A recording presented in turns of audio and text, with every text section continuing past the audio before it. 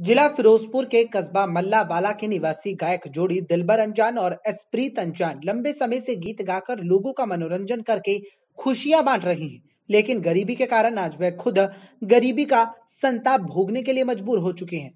इस गरीब गायक जोड़ी का हाल देखकर आप अंदाज़ा लगा सकते हैं कि किस तरह से वह अपनी दो वक्त की रोटी के लिए मोहताज हो चुके हैं। गायक जोड़ी ने बताया कि उनका एकमात्र मकान है जो बारिश के कारण ढह चुका है।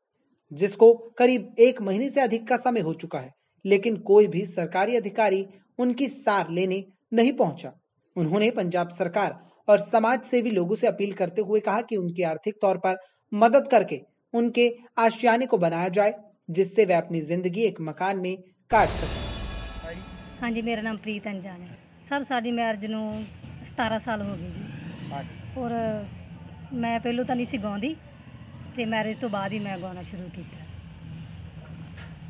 ਉਸ ਤੋਂ ਬਾਅਦ ਹਾਲਾਤ ਕਿਸ ਤਰ੍ਹਾਂ ਦੇ ਹਾਲਾਤ ਨੇ ਜਿਹੜੇ ਹਾਂਜੀ ਹਾਲਾਤ ਤਾਂ ਬਹੁਤ ਖਰਾਬ ਹੈ ਸਰ। ਹਾਂਜੀ?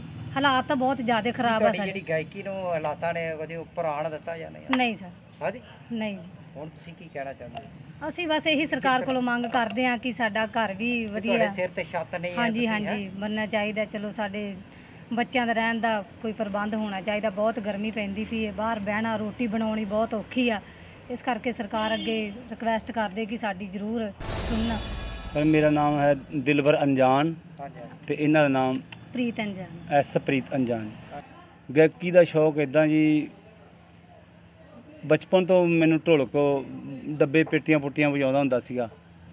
ਤਾਂ ਮੇਰੇ ਮੰਮੀ ਡੈਡੀ ਕਹਿੰਦੇ ਹੁੰਦੇ ਸੀ ਮੈਨੂੰ ਵੀ ਤੂੰ ਇਹ ਕਿਹੜੇ ਕੰਮਾਂ 'ਚ ਪਿਆ ਹੋਇਆ? ਮੇਰਾ ਦੋਸਤ ਇੱਕ ਹੁੰਦਾ ਸਕੂਲੇ ਜਾਂਦਾ ਸੀਗਾ ਉਹ। ਤਾਂ ਉਹਨੇ ਮੈਂ ਨਾਲ ਸਕੂਲ ਜ਼ਰੂਰ ਜਾਂਦਾ ਸੀਗਾ। ਪਰ ਮੈਂ ਉਹਨੂੰ ਸਕੂਲ ਦਾ ਗੇਟ ਟਪਾ ਕੇ ਆਪ ਘਰੇ ਆ ਜਾਂਦਾ ਹੁੰਦਾ ਸੀਗਾ।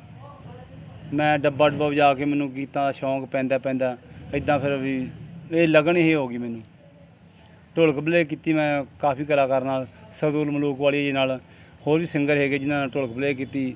ਮੇਰੇ ਦੋਸਤ ਸੀ ਕੁਝ ਕਹਿੰਦੇ ਵੀ ਤੁਹਾਡੀ ਚਲੋ ਆਵਾਜ਼ ਅੱਛੀ ਹੈ ਤੁਸੀਂ ਗਾਓ ਜੇ ਤੁਹਾਨੂੰ ਸ਼ਾਇਦ ਸੰਯੋਗ ਮਿਲ ਜਾਏ ਕਿਸੇ ਪਾਸੋਂ।